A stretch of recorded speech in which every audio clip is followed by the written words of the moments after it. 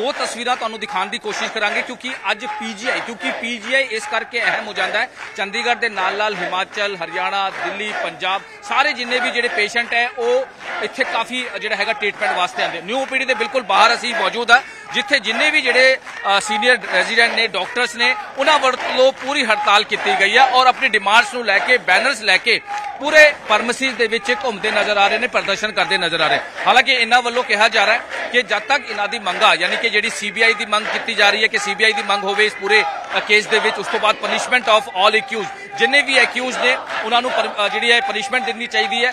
ਹਮ, ਸਾਡੀ ਸਿਕਿਉਰਿਟੀ ਨੂੰ ਲੈ ਕੇ, ਸਾਡੀ ਜਿਹੜੀ ਇਨਕਰੀਜ਼ ਹੈ, ਸਾਡੀ ਸਿਕਿਉਰਿਟੀ ਸੇਫਟੀ ਜਿਹੜੀ ਉਹ ਕੀਤੀ ਜਾਵੇ ਤੇ justice for the victim and her family family ਨੂੰ ਜਿਹੜਾ ਜਸਟਿਸ ਦਿੱਤਾ ਜਾਵੇ ਅੱਜ ਜਿੰਨੇ ਵੀ ਪੀਜੀਆਈ ਦੇ ਜਿੰਨੇ ਵੀ ਰੈਜ਼ੀਡੈਂਟਸ ਡਾਕਟਰ ਨੇ, ਉਹਨਾਂ ਵੱਲੋਂ ਪੂਰੀ ਹੜਤਾਲ ਕੀਤੀ ਗਈ ਹੈ। ਤਸਵੀਰਾਂ ਇੱਕ ਤਸਵੀਰ ਇਹ ਹੈ, ਇਹਨਾਂ ਨਾਲ ਵੀ ਅਸੀਂ ਗੱਲਬਾਤ ਕਰਾਂਗੇ। ਦੂਜੀ ਤਸਵੀਰ ਵੀ ਦਿਖਾ ਦਈਏ ਕਿ ਜਿਹੜੀ ਲੋਕਾਂ ਦੀ ਖੱਜਲ ਖਵਾਰੀ ਹੋ ਰਹੀ ਹੈ, ਜਿਹੜੇ ਲੋਕ ਅੱਜ ਆਏ ਨੇ, ਜਿਨ੍ਹਾਂ ਦੇ ਟੈਸਟ ਨੇ, ਉਹਨਾਂ ਨੂੰ ਕਿਸ ਤਰ੍ਹਾਂ ਦੀ ਖੱਜਲ ਖਵਾਰੀ ਹੋ ਰਹੀ ਹੈ, ਉਹਨਾਂ ਨਾਲ ਵੀ ਅਸੀਂ ਗੱਲਬਾਤ ਕਰਾਂਗੇ, ਕਿਉਂਕਿ ਬਹੁਤ ਅਹਿਮ ਹੋ ਜਾਂਦਾ ਹੈ ਕਿ ਦੂਰ ਦੂਰ ਤੋਂ ਜਿਹੜੇ ਲੋਕੀ ਆਉਂਦੇ ਨੇ, ਪਹਿਲਾਂ ਡਾਕਟਰ ਨਾਲ ਅਸੀਂ ਗੱਲਬਾਤ ਕਰ ਲੈਂਦੇ। ਸੀਨੀਅਰ ਡਾਕਟਰ ਜਿਹੜੇ ਨੇ, ਸੀਨੀਅਰ ਰੈਸੀਡੈਂਟ ਨੇ, ਡਾਕਟਰ ਪਰਮਪ੍ਰੀਤ ਰੈਡੀ ਇੱਥੇ ਬੈਠੇ ਨੇ, ਉਹਨਾਂ ਨਾਲ ਅਸੀਂ ਗੱਲਬਾਤ ਕਰਾਂਗੇ, ਕਿਉਂਕਿ ਬਹੁਤ ਜ਼ਰੂਰੀ ਹੋ ਜਾਂਦਾ ਹੈ।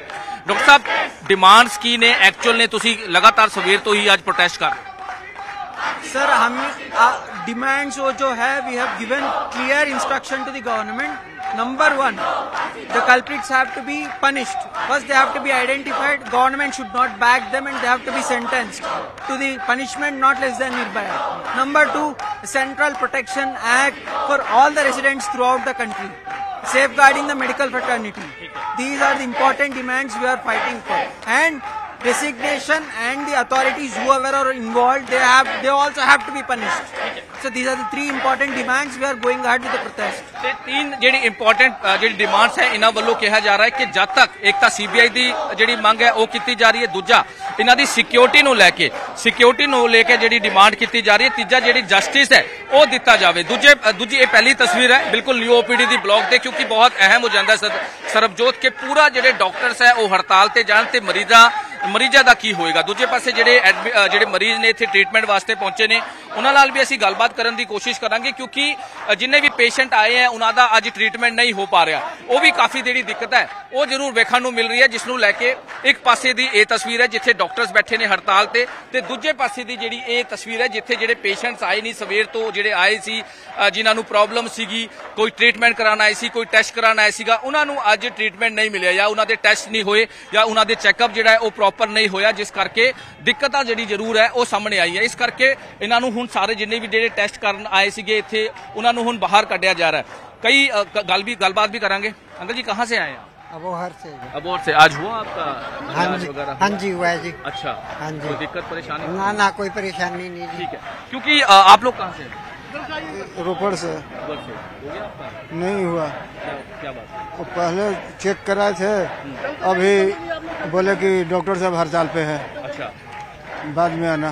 बाद में आना। आपका हो डॉक्टर साहब हड़ताल की दिक्कत हो रही है आपको? हो रही है दिक्कत काम नहीं हुआ है। नहीं हुआ काम? कहाँ से आए आप? मनसा पंजाब से हैं। अच्छा तो नहीं हो पाया। आंटी जी कहाँ से आए हम शिमला से आए शिमला से हो गया इलाज आपका? हाँ जी हाँ जी। अच्छा इलाज हाँ जी हाँ जी। ठीक है। ਤਾਂ ਕਈ ਐਮਰਜੈਂਸੀ ਜਿਹੜੀ ਹੈਗੀ ਹੈ ਉਹ ਚੀਜ਼ਾਂ ਵੀ ਦਿੱਤੀ ਹੋਈ ਹੈ ਐਮਰਜੈਂਸੀ ਜਿਹੜੇ ਡਾਕਟਰਸ ਵੀ ਬਿਠਾਏ ਗਏ ਨੇ, ਲੇਕਿਨ ਜ਼ਿਆਦਾਤਰ ਜਿਹੜਾ ਅਸੀਂ ਗੱਲ ਕਰ ਲਈਏ ਮੋਸਟਲੀ ਜਿਹੜੇ ਡਾਕਟਰਸ ਨੇ, ਉਹ ਹੜਤਾਲ ਨੇ। ਕਿਸੇ ਦਾ ਟ੍ਰੀਟਮੈਂਟ ਹੋਇਆ ਹੈ, ਕਿਸੇ ਦਾ ਚੈੱਕਅਪ ਹੋਇਆ ਹੈ, ਕਿਸੇ ਦਾ ਨਹੀਂ ਹੋਇਆ ਹੈ, ਲੇਕਿਨ ਜ਼ਿਆਦਾਤਰ ਜਿਹੜੇ ਲੋਕਾਂ ਨੇ ਉਹਨਾਂ ਦੀ ਖੱਜਲ ਖਵਾਰੀ ਜ਼ਰੂਰ ਵੇਖਣ ਨੂੰ ਮਿਲ ਰਹੀ ਹੈ ਸਰਬਜੋਤ। ਔਰ ਕਿਉਂਕਿ ਅੱਜ ਪੂਰਾ ਦਿਨ ਇਹਨਾਂ ਦੀ ਸਟ੍ਰਾਈਕ ਚੱਲਣੀ ਹੈ, ਤਾਂ ਕਿਤੇ ਨਾ ਕਿਤੇ ਖੱਜਲ ਖਵਾਰੀ ਜਿਹੜੀ ਹੈ ਉਹ ਲੋਕਾਂ ਦੀ ਜ਼ਰੂਰ ਵੇਖਣ ਨੂੰ ਮਿਲ ਰਹੀ ਹੈ। ਦੂਜੇ ਪਾਸੇ ਇਹਨਾਂ ਦਾ ਸਾਫ਼ ਤੌਰ ਤੇ ਕਹਿਣਾ ਹੈ ਕਿ ਜਦ ਤੱਕ ਇਹਨਾਂ ਦੀ ਮੰਗਾਂ ਨਹੀਂ ਮੰਨੀ ਜਾਂਦੀ, ਪਹਿਲਾਂ ਜਿਹੜੀ ਸੀਬੀਆਈ ਜਾਂਚ ਹੋਣੀ ਚਾਹੀਦੀ, ਜਿਹੜੀ 31 ਸਾਲ ਦਾ ਜਿਹੜੇ ਟ੍ਰੇਨੀ ਡਾਕਟਰ ਦੇ ਨਾਲ ਰੇਪ ਮਰਡਰ ਦੀ ਵਾਰਦਾਤ ਨੂੰ ਅੰਜਾਮ ਦਿੱਤਾ, ਪੁਲਿਸ ਤੇ ਵੀ ਇਹਨਾਂ ਨੇ ਐਲੀਗੇਸ਼ਨ ਲਾਇਆ ਕਿ ਪੁਲਿਸ ਦੀ ਜਿਹੜੀ ਇਨਵੈਸਟੀਗੇਸ਼ਨ ਹੋਈ ਹੈ ਉਹ ਸਾਡੇ ਜਿਹੜੇ ਹੈਗੇ ਅਸੀਂ ਸੈਟੀਸਫਾਈ ਨਹੀਂ ਹੈ ਦੇਖੋ, ਇਹਦੇ ਵਿੱਚ ਬੜੇ ਹੀ ਸ਼ਾਤਿਰ ਤਰੀਕੇ ਦੇ ਨਾਲ ਜਿਹੜਾ ਸੰਜੇ ਨਾਂ ਦਾ ਜਿਹੜਾ ਐਕਿਊਜ਼ਡ ਹੈ, ਉਸਨੇ ਪੂਰੀ ਵਾਰਦਾਤ ਨੂੰ ਅੰਜਾਮ ਦਿੱਤਾ ਔਰ ਉਸਨੇ ਜਿਹੜੇ ਜਿਹੜੇ ਪ੍ਰੂਫ ਸੀਗੇ, ਉਹਨਾਂ ਨੂੰ ਵੀ ਪੂਰਾ ਜਿਹੜਾ ਹੈਗਾ ਉਹ ਵਾਸ਼ ਕਰਨ ਦੀ ਕੋਸ਼ਿਸ਼ ਕੀਤੀ। ਯਾਨੀ ਕਿ ਜਿਹੜੀ ਹੁਣ ਤੱਕ ਦੀ ਇਨਵੈਸਟੀਗੇਸ਼ਨ ਸਾਹਮਣੇ ਆਇਆ ਜਿਹੜਾ ਐਕਿਊਜ਼ਡ ਹੈ, ਜਿਸਨੇ ਇਸ ਪੂਰੀ ਵਾਰਦਾਤ ਨੂੰ ਅੰਜਾਮ ਦਿੱਤਾ ਸੀ, ਉਹਨੇ ਪੂਰੇ ਜਿਹੜੇ ਪ੍ਰੂਫ ਸੀਗੇ, ਜਿਹੜੇ ਬਲੱਡ ਦੇ ਨਿਸ਼ਾਨ ਸੀਗੇ, ਜਿਹੜੇ ਕੱਪੜੇ ਸੀਗੇ, ਉਹ ਸਾਰੇ ਵਾਸ਼ ਕਰ ਦਿੱਤੇ ਸੀਗੇ। ਔਰ ਆਰਾਮ ਨਾਲ ਘਰ 'ਚ ਜਾ ਕੇ ਉੱਥੇ ਸੋ ਗਿਆ ਸੀਗਾ ਕਿ ਕਿਸੇ ਨੂੰ ਸ਼ੱਕ ਨਾ ਹੋਵੇ ਔਰ ਪੂਰਾ ਜਿਹੜਾ ਆਸ-ਪਾਸ ਦਾ ਨੀਅਰ ਬਾਏ ਦਾ ਜਿਹੜਾ ਜਿਸ ਰੂਮ ਦੇ ਵਿੱਚ ਇਹ ਗਲਤ ਹਰਕਤ ਕੀਤੀ, ਉਹ ਪੂਰਾ ਜਿਹੜਾ ਕਲੀਅਰ ਕਰ ਦਿੱਤਾ ਸੀਗਾ ਕਿ ਕਿਸੇ ਨੂੰ ਸ਼ੱਕ ਨਾ ਹੋਵੇ। ਹਾਲਾਂਕਿ ਪੁਲਿਸ ਨੇ ਇਹ ਦਾਵਾ ਕੀਤਾ ਹੈ ਕਿ ਅਰੈਸਟ ਜਿਹੜਾ ਹੈਗਾ, ਹੋਰ ਵੀ ਕਈ ਚੀਜ਼ਾਂ ਨੂੰ ਲੈ ਕੇ ਖੁਲਾਸੇ ਜਿਹੜੀ ਹੈ ਪੁਲਿਸ ਕਰਦੀ ਨਜ਼ਰ ਆ ਰਹੀ ਹੈ। ਲੇਕਿਨ ਦੂਜੇ ਪਾਸੇ ਜਿਹੜੇ ਵੀ ਪ੍ਰੋਟੈਸਟ ਕਰਦੇ ਨਜ਼ਰ ਆ ਰਹੇ ਨੇ ਸੀਨੀਅਰ ਡਾਕਟਰਸ ਉਹਨਾਂ ਵੱਲੋਂ ਸਾਫ਼ ਤੌਰ ਤੇ ਕਿਹਾ ਜਾ ਰਿਹਾ ਹੈ ਕਿ ਸਾਡੀ ਸਿਕਿਉਰਿਟੀ ਕਿੱਥੇ ਹੈ?